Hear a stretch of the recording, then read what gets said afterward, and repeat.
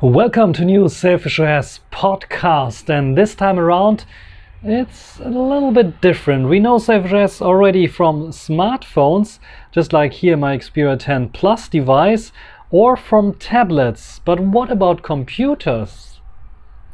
Of course, there's the Sailfish SDK, so if you want to develop something, it is simulating a smartphone or a tablet. But what about running it natively on a laptop?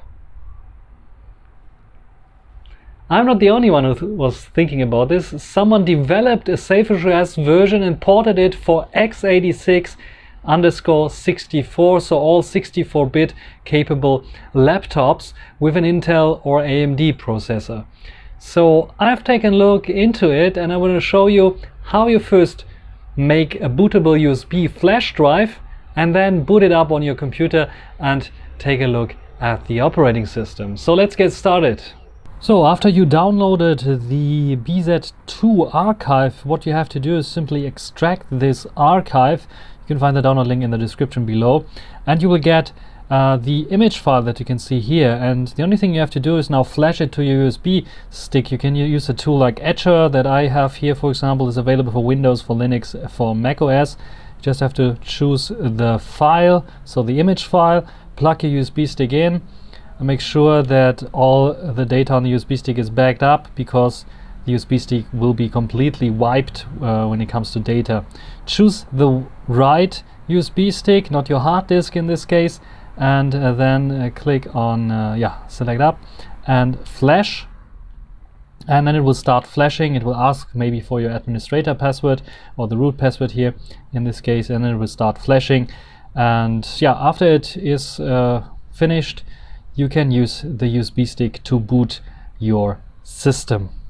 To boot it up, just like on any other Linux distribution, you put in the USB stick and hit the appropriate button for um, booting up from the USB stick. And as you can see here, you have two options, Sailfish x 86 AMD 64 0.2 or the special version for the Asus Transformer Mini. So I try out the a normal version here. Let's see if it will boot up. Further on booting, it's a normal boot startup based upon Ubuntu 12, uh, 2004 and this is the underlying base of the Sailfish system for x86 uh, x86 underscore 64 and here you can see it's now booting up and after a few seconds should boot up into the graphical user interface and we should have like the uh, Silica Sailfish OS uh, lipstick user interface hopefully where we can try out certain things. As this I'm using this laptop here because this one has a touch screen so we have the option to use some extra stuff and seems to be hanging something. There we go. So we have the mouse cursor here and we have the OS device already. And I have to enter some security code. And then the graphical user interface appears and I'm using this here. Uh, let me make it brightest okay? I'm using this laptop here because as you can see it has a touch screen I can also use my mouse here to unlock it. The default password is one two three four five six and you should be in your device. Here we go.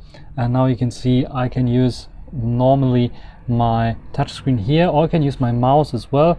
You can see the mouse is a bit I think it has some issues because it's like dragging all the time for some reason. And even though I'm not doing anything it's like dragging all the time something. So I probably will stick to using the touchscreen and we have a terminal here. We have Storeman installed. Let's see if we can uh, type stuff. Yeah our keyboard is working fine. You can see it is Sailfish OS running on a kernel. Um, that let me make it a bit bigger for you to see.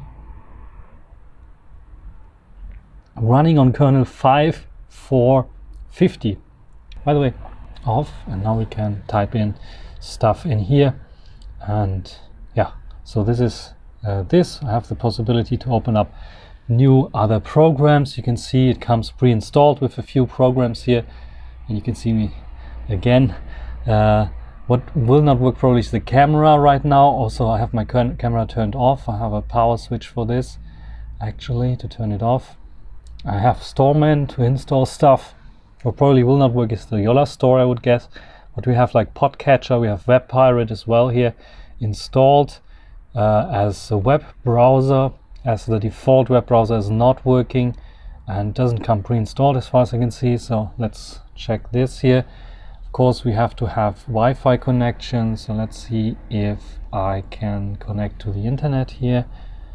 Okay just getting my Wi-Fi signals and I can type in my super secret uh, password here to connect to my Wi-Fi and now I'm connected to Wi-Fi hopefully. Yes I'm connected and I have now the possibility to go to a website just like for example forum.sailfishos.org I'm not sure if this will load in this you in this really really old Qt WebKit uh, engine browser. But in general you can use as you can see not pretty but uh, in general you can use a web browser here as well. I would rather install my own web browser called WebCat. But you can see applications are working. It is pretty fast, as you can see. It has to be fast on this powerful machine. And I have the option to install all applications basically. If all will work, hmm, depends on stuff, just like for example, um, uh, gyroscope or uh, um, some other sensors that are definitely not in my laptop won't work here.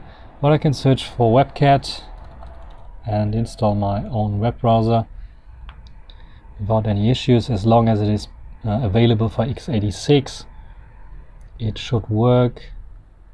Click install here and it will add this and install. And of course I can go back here and do some other stuff uh, when I want to read more can see it's pretty fine, pretty fast. Touchscreen is working. The only thing that is a bit cumbersome is the mouse. As you can see here, it is like, ah, it's like always dragging for some reason, uh, even though I'm not dragging. So what I could, of course, try out is attaching. I have a USB Type-C dongle, and I could try attaching my uh, wireless mouse here that I have. Let's see if this will improve my situation. So wireless mouse attached, you can see wireless mouse is moving, that's the power of uh, Linux. And yes, so this one is better. It's not always dragging stuff around, only when I press the mouse button it's dragging around. So probably the touchpad has like this uh, touch to um, tap to touch or something like this feature enabled by default. Anyway, so the uh, don't I cannot perform the gestures apparently with the mouse. So I have to perform it. I wonder if the keyboard is working. And yeah now WebCat is installed. So here I can find it and I can use my WebCat browser for browsing around for example to Maemo forum which would probably not work because they changed to oh it's working. Okay and yeah I can browse around here. You can see it is a bit slow because it's like using the USB stick here right now. I'm not using my fastest USB stick so it's a bit slow here. And in general I think the user interface is working. Uh, WebCat I could recommend you as well because it has support for keyboard shortcuts. So you can uh, use K for going to bookmarks for example back and forth.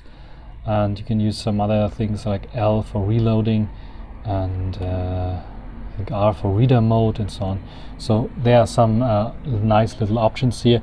Um, keep in mind this is like for testing purposes it's version 0.2 still though it is pretty powerful already you can see it has like the, the power uh, here of my laptop which is pretty accurate I would say not sure if it's working correctly so it has uh, Bluetooth I'm not sure if I can find Bluetooth devices here let's search for devices and let's turn my smartphone on I mean the Bluetooth on my smartphone to make it visible see if it was working yeah, it's working as you can see. So even Bluetooth is working. So it has a lot of potential, I would say, uh, when it comes to like laptops with a touchscreen to be usable. Especially if you want to test out programs, you don't have to buy a Safe phone. You can use, just use your uh, tablet, uh, your your your laptop with tablet functionality and touchscreen to try out some applications, and it's very very powerful and fast. There's some bugs that needs to be fixed, like uh, the normal browser here. I think has some issues loading some pages uh, loading it all I think ah, okay now it allows me to let's go to jolla.com for example to see if it's working or not seems to be working but it's not I think yeah there's some cosmetic things like the mouse cursor which could be like beautified and uh, I think mouse cursor needs like this gesture support as well for people who don't have a touch screen that they can use. You can see it's not working with this browser. But yeah, some known problems, but still a pretty good effort, I would say. And what do you think? Should people work on a more laptop-based Sailfish OS version? optimized maybe for laptop usage, also for laptop touchscreen usage, of course, if you want to, but maybe having like a traditional bar at the bottom that you can just click with your mouse on to do some actions. What do you think about this? Really like know. You can write that down in the comment section. If you tried it out on your uh, machine, is it working on your machine? Do you have a touchscreen to try out all these uh, great things here? And uh, what would you optimize? Would you maybe are you a developer? Would you optimize your programs also for the usage on a desktop? Uh, write it down in the comment section. That's everything for this video. I hope you enjoyed it. Thanks for watching. Until the next time. Bye